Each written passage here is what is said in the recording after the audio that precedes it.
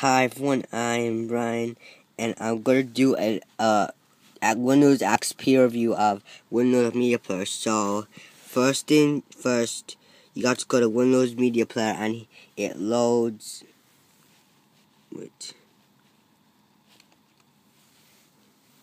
I'm gonna play something. For example, my thing. You're gonna press play. I did a recording record Windows card space, so the, I'm gonna play Windows welcome music. And here are your other options you could use, but I'm not gonna review all that. And you could change your skin. Daddy, I'm making a video. I'm making a video. You got radio tuner. You want me over me library. You copy your songs off of a CD and now playing so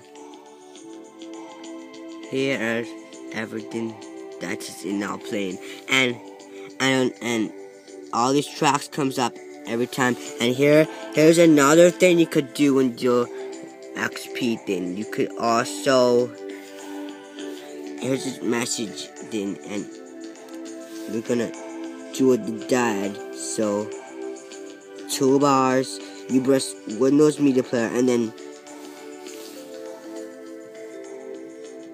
Windows Media Player is in a different mode. So you got these options: pause, stop, next, forward, back, and volume, and you press the Windows XP button, and what that's going to do is going to take you back to normal. So I am going to disable two bars.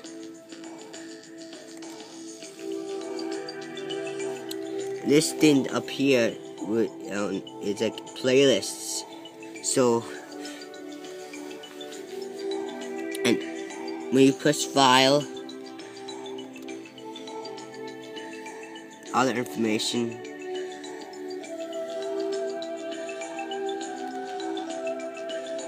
enhancements. Got visualizations. We got alchemy, Ambience, bars, waves, battery, particle, pneumatic spikes. For example, I'm gonna put on one from Ambience, like Anon. And that look at that cool visualization and you could rewind and fast forward the music. You can also change the color of your media player. As you can see, I'm using Windows Media Player 6. I'm going to change it to blue. And media guide. It connects. We're not going to do that. You copy music. You copy music to media from to media player and from the CD. So here's what I copied so far. I don't know what this is, but we'll have to view it there and here's where you can change your skin. So I'm gonna keep mine as regular. So listen to that music. Alright, and here's the information about it. Windows Media Player 9 series. Went to 992 2002. Microsoft. As you can see, I'm using Windows XP now.